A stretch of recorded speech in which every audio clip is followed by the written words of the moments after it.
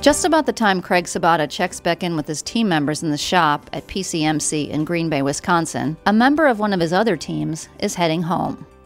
Meet Mason, Craig's youngest son.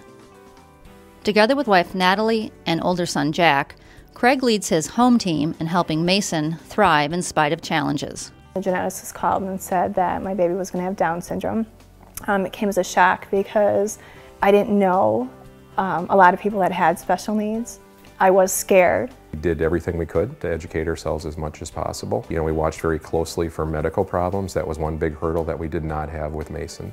So we could really focus on what kind of opportunities were out there to help him develop and be absolutely the best person that he could be. Mason is high functioning and attends a regular school where he is mainstreamed. I don't think he realizes he has any challenges. I think he thinks he's a, a typical boy. He's able to do pretty much any kind of sport he wants to. We've taken him skiing a couple of times. You know, he loves everything that Big Brother does from a sports standpoint. I had expected maybe some physical limitations. Really haven't seen any of that whatsoever. He's so excited when Craig comes home. Um, right away, he wants to show him what he did in school, show him his homework um, talk about his day if he was a good boy at school. Craig says he draws upon two important skills he's developed as a leader in the Barry-Wehmiller organization to help Mason reach his potential. One is listening skills, and the other is patience. And I've always viewed myself as a very patient person.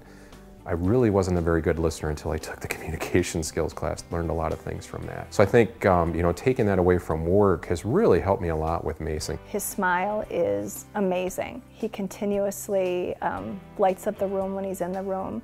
Um, he's a jokester. He's really funny. I don't think there's a day that goes by without us laughing at Mason. Loves to be the center of attention. He is full of life. He has two speeds, wide open and asleep. My name is Mason Sabota.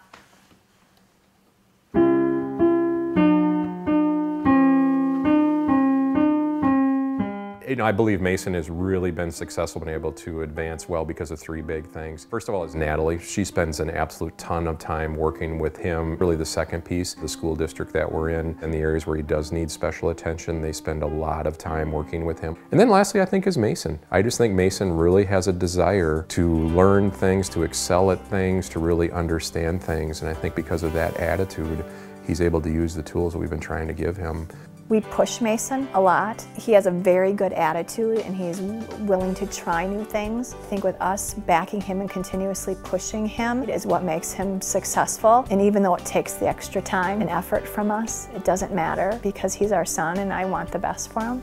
Mason, how was your day? Good. Do you have a fun day? Yeah.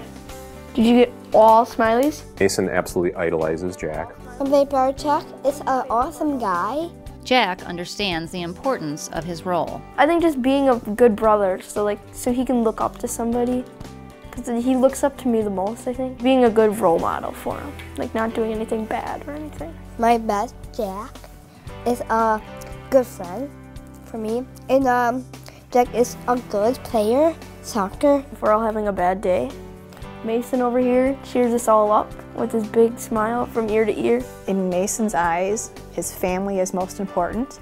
I want the same thing uh, for Mason as I do for my other son, Jack. Um, I am pushing him to be able to live independently. To have a job, you know, whatever he may be able to do in the future, have him be able to do something, work somewhere, really bring some value. So Mason, have you ever thought about when you grow up what you want to be? Yes. I'll be a Miss Chef at the TJ. TJ, is that a restaurant? Yeah, it's like a Japanese steakhouse. Hibachi. He wants to be hibachi chef. Interesting choice of cuisine for a kid whose favorite foods are. I either is uh, two sausage burritos and a hash brown and water. Two sausage burritos, hash brown, and water. That's your favorite menu? Yes. That'll be interesting in a Japanese restaurant. We always joke we have a college fund for Jack, we have a trust fund for Mason, but maybe we're going to have to use the trust fund to send him to college because he's doing so well. With the encouragement and patience of his devoted parents and brother, we are going to eat this. It's going to be so trash.